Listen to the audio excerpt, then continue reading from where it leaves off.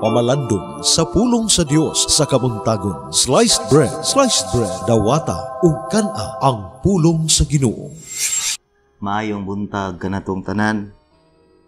Oktubre 31, 2017 ang Santos nga Ebanghelyo sumala ni San Lucas. Si Jesus mingon, Saon sa kuba itandi ang paghari sa Dios? Kinisama sa usa ka liso sa mustasa nga gipugas sa usa ka tawo sa iyang uma. Miturok kini og nahimong kahoy ug nagsalag ang mga langgam sa mga sanga ni ini. Unya nangutana pag-usab si Jesus, sa kuba itandi ang paghari sa Dios? Sama kini sa ipagpatu igpapatubo sa pan nga gikuha sa usa ka babaye nga gisagol sa usa ka takos nga harina hangtod mitubo ang tibuok minasa. Tinuod nga ang linya sa usa ka biblical scholar nga God works in mysterious ways.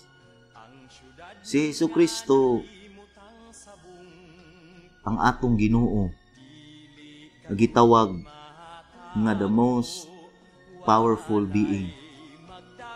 Ang gingharian sa Ginoo kamat ang kamatuuran nagaingon nga kini puno sa gugma. Mao nang kung kini puno sa gugma makahuluganon kaayo ug maga, ug nagadagayday kanatong tanan ang paghari sa Dios unya kini motuhop unta sa atong hunahuna ug kasing-kasing. As always, ang atong Ginoong Kristo nagauban kanato kanunay uban ang iyang misyon na iyang gipaambit kanato. Unsa kini nga mga misyon nga atong batunan pag-usab kung kita nakahilimot nakalimot sa mga importanteng gipaambit ni Yesu Kristo kanato. Una, ang pag-alagad, ang pag-ampo, ug ang pagsangyaw sa maayong balita.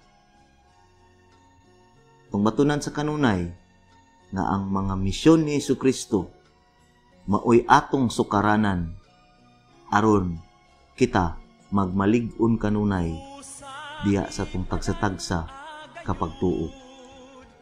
Hinaot pa unta. Ako si Reverend Elijah Sinsona, kasamtangan na assign sa Inahan sa Kinabuhi Diocesan College Seminary as Prefect of Discipline. Sliced bread, dawata ug kana ang pulong sa Ginoo.